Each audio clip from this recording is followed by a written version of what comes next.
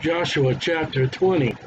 and the Lord also spake unto Joshua, saying, Speak to the children of Israel, saying, I Appoint out for you cities of refuge, whereof I spake unto you by the hand of Moses, that the slayer that killeth any person unaware, unwittingly, may flee thither.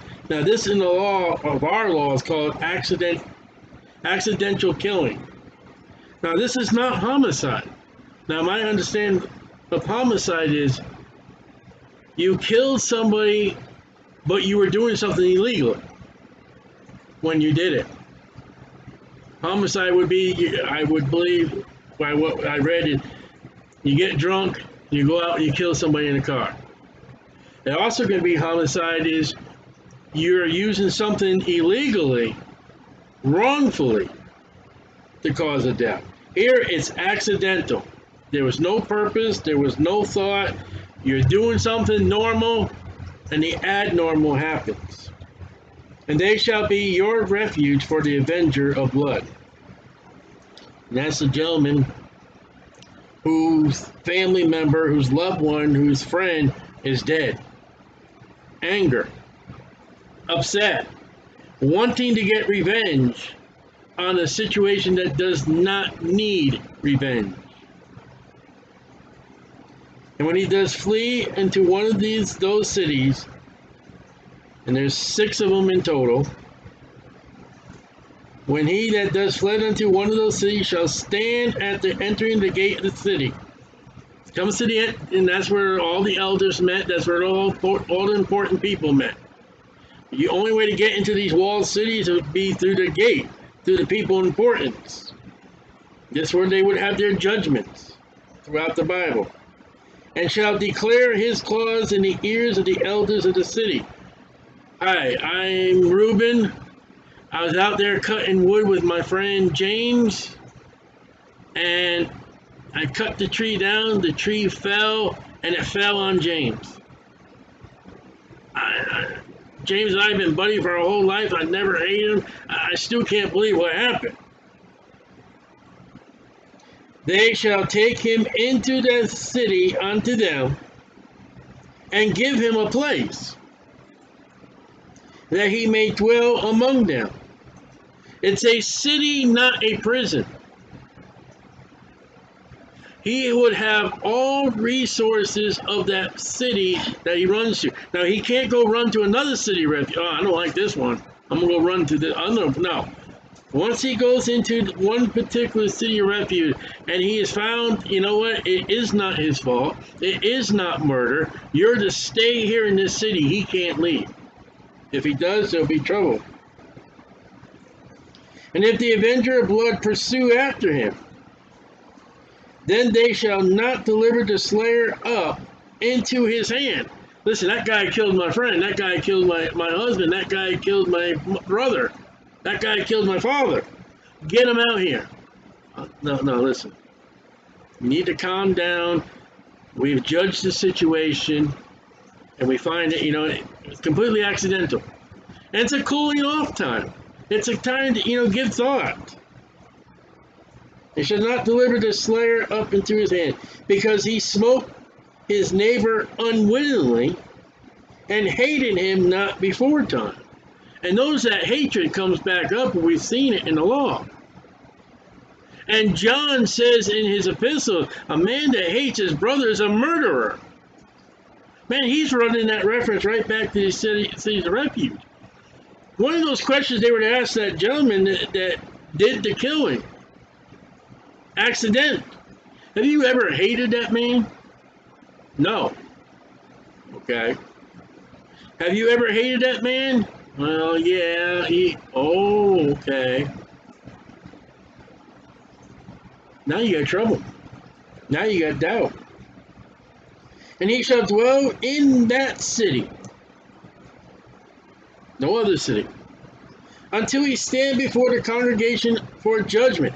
Here is where you would get a jury, a courtroom.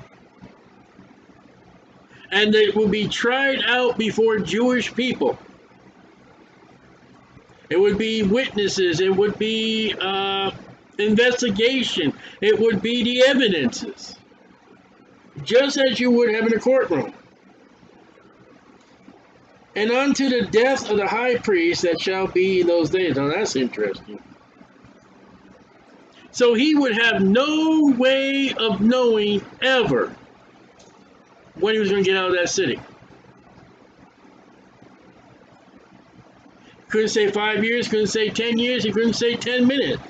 He had to stay in that city to the death of the high priest. Then shall the slayer return and come unto his own city and unto his own house, unto the city from whence he fled. So at the death of that high priest, that guy can go. Excuse me. I don't even know if he was to bring his family.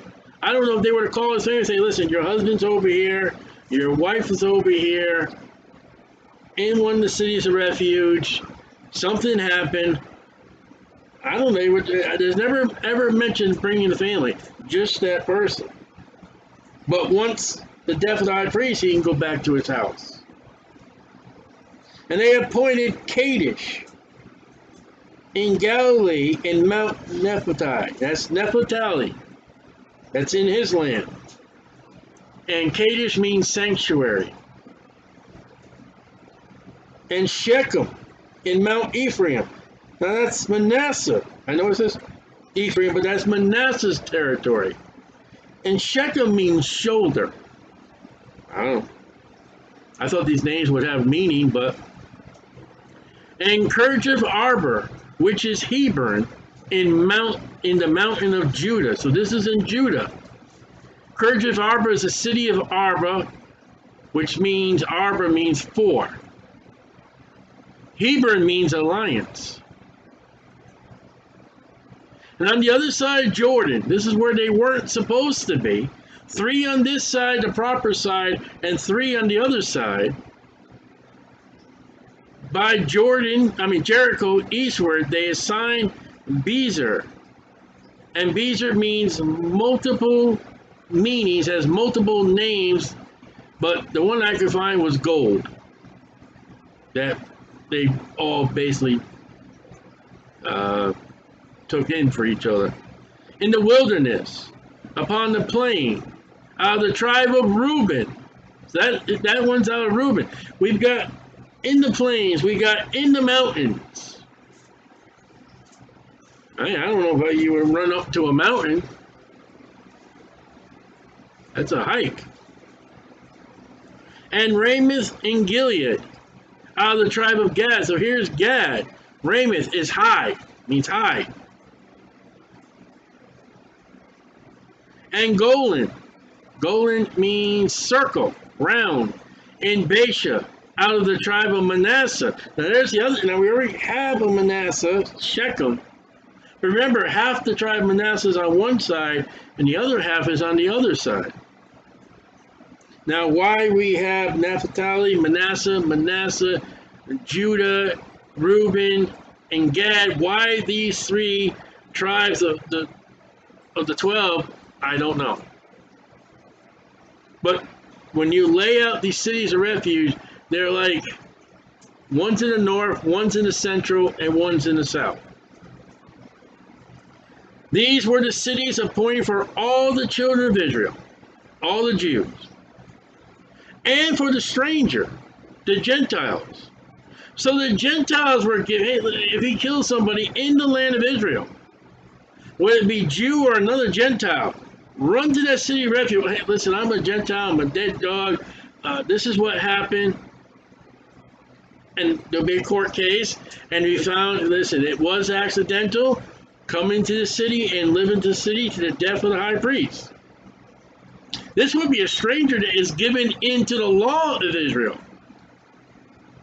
He's given to the commandments of Jehovah that sojourneth among them.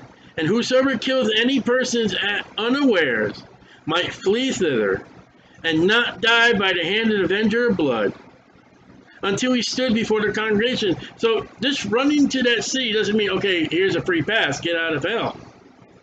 No, he runs to that city, and then there's an investigation. and then there's a trial. And that man is found completely accidental killing, okay, you stay. But if he's found guilty of murder, well, they're going to take him out and stone him. And that Avenger of Blood is going to be the first one to lay their hands on him.